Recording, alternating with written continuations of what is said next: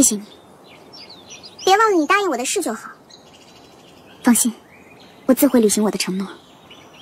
跟我们一起走吧。你们在说什么呢？屈夫人说了，只要我把你救出来，她就会离开你，或者…… 嗯，什么啊？她说的是真的？糊涂！此事我绝不同意。你不同意也晚了，我已经履行了我的诺言，现在该他履行他的诺言了。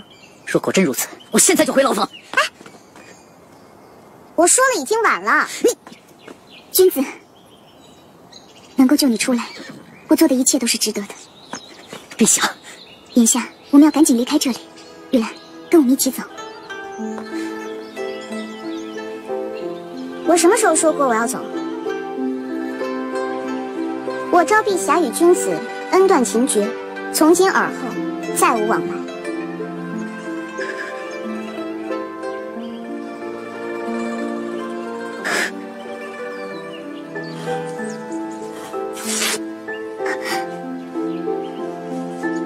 你们走吧。你的意思是？我的意思是，不需要你离开他，也不需要你自我了断。你不是一直想跟他在一起吗？像我玉兰这样的国色天姿，什么样的男人得不到？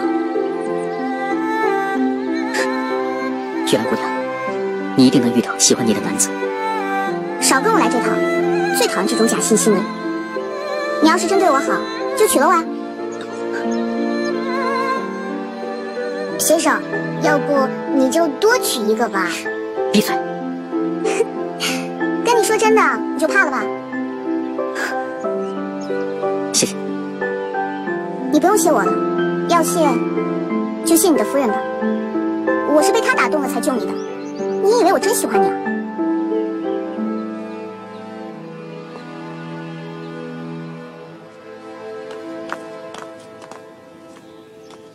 这到底是怎么回事？是玉兰妹妹，你早就知道了。父亲，屈原这个人真的不能杀呀。这两个人也是玉兰毒死的。还愣着干什么？追！绝不能让屈原活着离开齐国。